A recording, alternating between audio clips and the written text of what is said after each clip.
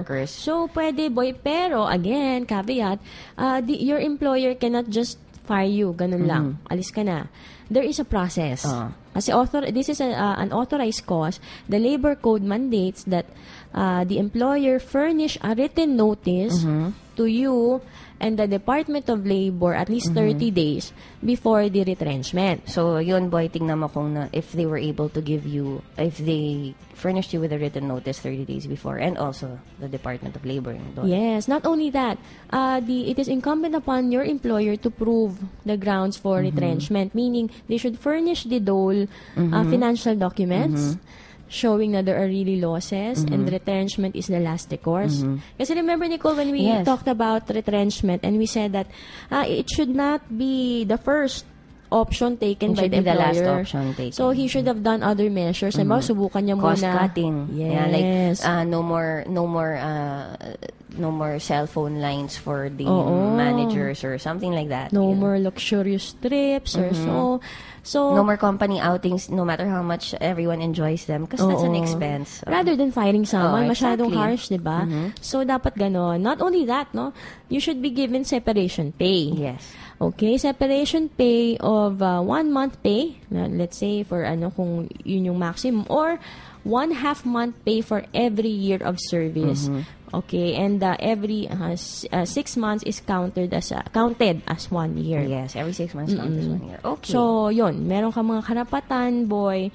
Uh, make sure that you, you ask uh, from your employer yung mga ganito, lalo na Yes. separation pay. But at the end of the day, if they follow the right process, um, ano lang, sort, swertehan lang yan. They they really went through, you know, maybe they didn't, they they really had to do it, boy. So, sa Oo, retrenchment, it's oo. not necessary that the factory be closed. no? Pwede, actually, buhay pa nga yan, trying to survive. Okay. Okay. Oh, ito, there was a call from Miranda and she just left a message. Kasi, may bibil may bibilhin po akong lupa. Sabi ng seller, dapat daw dalawa kontrata na magka iba-iba ang presyo para mababa ang tax. Papayag ba ako?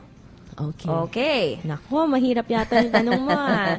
I don't want to incriminate myself. Let me just tell you what the how the law operates. Okay? Yeah. Uh, I think uh, the seller is referring to the capital gains tax of Mm-hmm. 6%. Usually that's when they ask for yes, this they, they play around with it. This is a reality. It happens. Pero okay, go ahead. Because the seller is obliged to pay the BIR a capital, capital gains tax of 6%, technically should be based on the market value of the property. So the basis of the BIR, halimbawa when you already, when you remit the capital gains tax, their basis is uh, the contract. No? So syempre, kung 6% of, uh, let's say, 100, Oh, magkano 'yon? 6 uh, 6 pesos. 'Di ba? So the yung the the lower your base is the lower your Oh, tax. let's say bibili mo yung lupa ng 100,000 so 6,000 ng tax. The the seller will have to pay 6,000 pesos as tax. So if the, maybe the seller wants you to say that 50,000. oh, 50,000 lang Para para 3 ano? 3,000 3,000. 3,000 lang 3,500 na, nadagdagan ba para 3,000 lang yung tax na babayaran niya so that they'll only pay 3,000 as as their tax Oo, this is the common practice, Yeah. Nicole. I, I don't want to give, sino ba to? Si Miranda. I Yeah. don't want to categorically tell you na pumayag ka o hindi. yes But uh, let me just give you reality na It's up to you. It's actually it's a reality. It happens. So don't feel like commenting either I'm not way. espousing this. Yeah. I'm saying, of course, you should be truthful to the government and correctly declare the price so that the government will get its fair share mm-hmm. of taxes. But just to let you know, this doesn't mean that the seller is actually like some it because it happens a lot. I'm just saying it happens a lot. You know, like uh, the reality of the situation is that it happens a lot. So this doesn't mean that it's a fly by night seller either. You know, so yun lang. It's really up to you, Miranda. Whatever you're comfortable with. If you're Oo. comfortable with dalawang kontrata, ikaw, anong judgment mo dun sa sa tao na kausap I mo? we just explained to you why your the seller was doing that. Yeah, why the seller's doing that. Okay, let's get this uh, text from Kevin of Makati. How much to hire lawyer to defend me in criminal case? Okay, ang Okay. hirap niyan. Hindi ko naman pwedeng sagutin yan. Hindi ko pwedeng sagutin yan na Well, yeah, what, for specifically. now, what kind of criminal case, Kevin? And then, you remember Attorney Nikki said before, there's an acceptance fee. Ayun. Sige, ganun na Okay. lang ang gagawin Yeah. natin. Okay. We will just tell you the kinds of fees. I Yes. will not give you specific figures. Diba? And depends on the lawyer also and their firm. Mm-mm. As you said, Nicole, acceptance fee. Accept. Okay. And uh, most lawyers assess the acceptance fee. This is a one-time payment and just for merely accepting the case. So baka sabihin mo kayo, grabe naman, why should I pay, you know, acceptance fee and, and one time?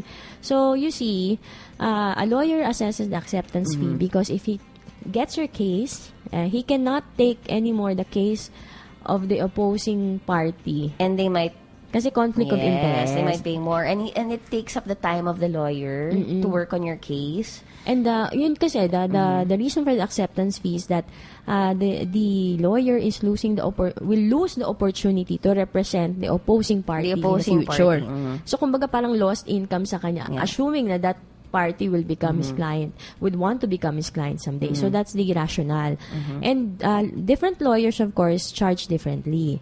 Some lawyers and actually most lawyers aside from the acceptance fee will assess you an hourly rate no? Acceptance fee and hourly rate. Kasi mga lawyers Every time you consult with them. Not only consult, everything, every movement. Let's Parang they- taxi. Yeah. So, halimbawa, you're emailing your lawyer and the lawyer will respond to you. Hourly rate yon So, don't, uh, ganun ang mga billing no- normally ng lawyer. So, even when you're talking to the to your lawyer on the phone, may metro. So, naka, ano yan, spell out yan sa bill mo. And what if it takes your lawyer two hours to answer your email but it's only two lines? Well, you know, uh, it has become... Make sure they're fast typers. Ah, it has become a source of contention na rin with most clients Yeah. and attorneys. Pero ang Yeah. suggestion ko rin lang sa Typists clients, pala. lalo na, no, if your lawyer bills by the hour, ah, then don't, if you want to save up, then don't ask difficult questions. Yes, don't ask difficult questions and don't email like 100 emails to ask paulit-ulit. Oo, kasi Maybe- mabibill ka nun eh. Maybe, Nick, you know, maybe if if it's like that and you really have a whole bunch of questions, make an appointment with your lawyer, go to their Ayun. office and make it one hour or two hours, tapos get all Because your it, questions it, it takes answered. effort to type. Yes. Diba? It so, does.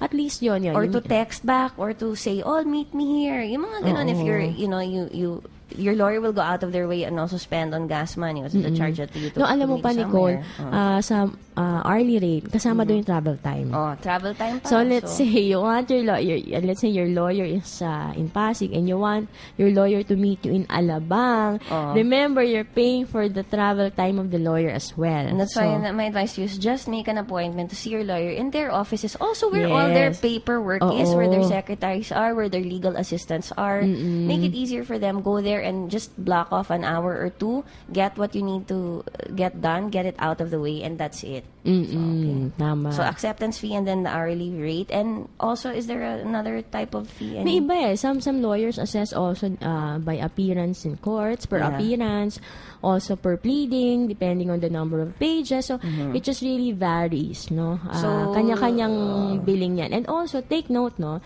Uh, different lawyers also assess different rates. Don't Mm-hmm. think na parang if one lawyer says acceptance fee is 50,000, ganun na dapat lahat. It will differ, no? Uh, depending on the the firm, the lawyers, the credentials, qualifications. How many people they have, the stature, whatever it is that the case that you're in. If it's a simple case of, you know, Oo. then, no, then Depende kasi uh, Nicole sometimes when prospective clients walk to my Mm-hmm. office, I tell them this, these are my rates. And definitely there are lawyers who charge less Yes, than me. I yes. tell you. I even tell them significant significantly less than my rates. Pero I cannot guarantee the quality and the And actually, parang I- produkto, 'di ba? I know someone who that just happened to them recently. You know, Oo. like, oh, sige, it's an Sometimes easy case. And then, oh, wala, what happened now? So now they have to pay more. Oh, kasi Yeah, so- I'm not ano, and it's Yeah. just that uh, parang sometimes you, you get what you pay for, Mm-hmm. Nicole. 'Di ba? If you're paying very low, di syempre medyo ang quality is not Mm-hmm. that high. Pero it doesn't go uh, that way all the time, di ba? Yes, yes. And there's some really good lawyers who are working their way up because everyone had to come from somewhere and everyone had to Oo. start from somewhere. Yes. So yun. Okay, there's actually we'll just answer one last because we're running out of time. It's a text from Ami of Caloocan. Ami or Amy of Caloocan. I don't know how to pronounce your name, but Ami or Amy of Caloocan. I want to go to US. Should I not tell consul that I am a nursing graduate? Ah, Oh, okay, well.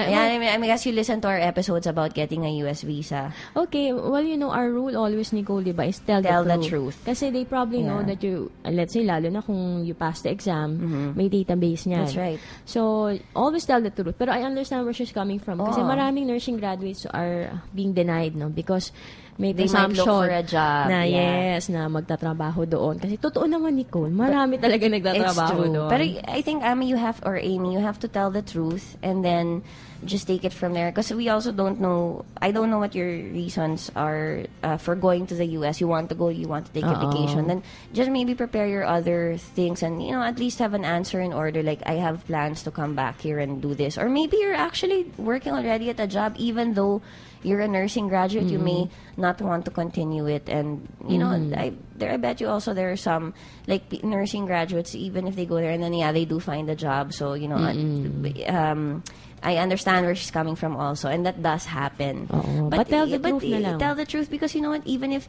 you happen to get some kind of, uh, some kind of job when you're there, they'll they'll go through the process of making you come home and filling it out correctly. So, you know, they also understand that a, a legitimate business in the U.S. or a hospital or or a, a, a daycare facility, not daycare, sorry, um, uh, let's say I forgot how you call it, extended care facility will hire you. They also wouldn't want to hire you illegally, especially in this day and age. So, just tell the truth. Okay. Okay. yes. Anyway, that's all the questions we have time for for today. We'll be back on Friday. Thank you for tuning in to Mind Your Own Business. Attorney Nikki, any parting shots for this Wednesday morning? Oh, well, take care of your health. I'm talking to myself. Go home early. Go home early. we'll be back on Friday. Don't worry, guys. And now stay tuned for Jerry Cornejo and not necessarily the news. Bye, folks. See you on Friday. You have been listening to Mind Your Own Business with Nicole Jacinto and attorney Nikki De Vega.